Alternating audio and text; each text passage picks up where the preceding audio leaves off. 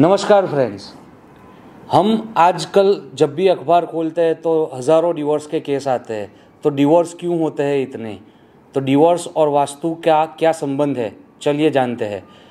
Divorce के दो मुख्य कारण हैं।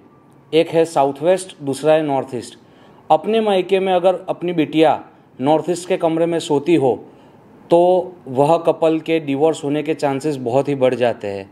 और दूसरा अगर आपके घर में साउथ वेस्ट का कोना अगर कटा हुआ है या फिर बढ़ा हुआ है तो भी वह डिवोर्स को लीड करता है। धन्यवाद।